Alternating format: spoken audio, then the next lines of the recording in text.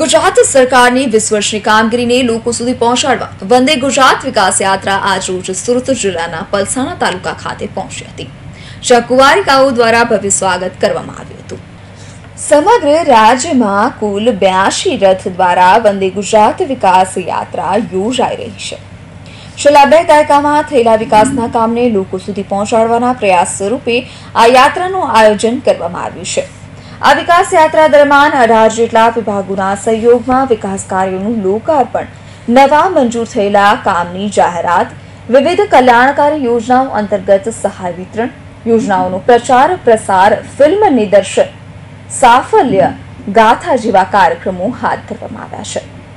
ત્યારે આજરોજ વંદે વિકાસ યાત્રા સુરત જિલ્લામાં પહોંચી હતી, જેમાં પલસાણા, કડોદરા નગર ચલથાણ તેમજ ઉંભેડ ગામમાં વંદે ગુજરાત વિકાસ યાત્રા ફરી હતી.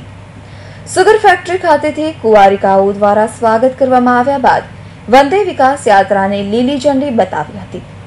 ત્યારબાદ આઝા- આઝાદીના અમૃત મહોત્સવની ઉજવણી અંતર્ગત કાર્યક્રમ યોજાયો હતો. આ કાર્યક્રમમાં અલગ અલગ યોજનાઓ જેમાં મા અમૃતમ કાર્ડ, ઉજ્જવલ યોજના હેઠળ મહિલાઓને સન્માન કરવામાં આવ્યું હતું. તેમજ જે ગામમાં કેરોસીન મુક્ત ગામ બન્યું હોય તેવા સરપંચનું પણ અભિવાદન કરવામાં આવ્યું હતું. આ કાર્યક્રમ અંતર્ગત સુરત જિલ્લા ભાજપ સંગઠનના ઉપપ્રમુખ તેમજ તાલુકા સંગઠન પ્રમુખ સરપંચો તેમજ મામલતદાર, ટીડીઓ, હેલ્થ ઓફિસરો સહિત અલગ અલગ ગામના સભ્યો ઉપસ્થિત રહ્યા હતા. કેતન ચીમનભાઈ પટેલ, સુરત જિલ્લા ભારતીય જનતા પાર્ટી ઉપપ્રમુખ. આજરોજ વંદે ગુજરાત વિકાસ યાત્રાનો કાર્યક્રમ ચલથાણ સીટનો હતો. પલસાણા તાલુકામાં લગભગ ત્રણ દિવસથી આ યાત્રા ફરી રહી છે. અલગ અલગ જિલ્લા પંચાયત સીટો પર, તાલુકા પંચાયત સીટો પર. અને આજે આ પલસાણા તાલુકાનો છેલ્લો કાર્યક્રમ છે.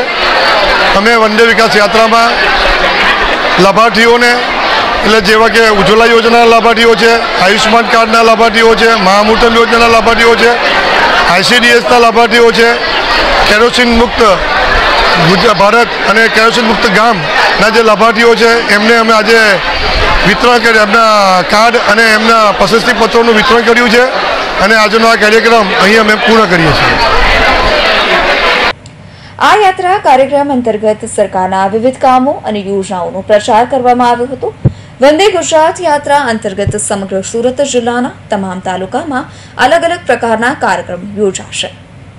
જે અંતર્ગત નાગરિકોની ભાજપ સરકારે ગુજરાતમાં કરેલા વિકાસ અંગેની માહિતી આપવામાં આવશે. સુરેશ રાઠોડ હિન્ટવી ન્યૂઝ પલસાણા.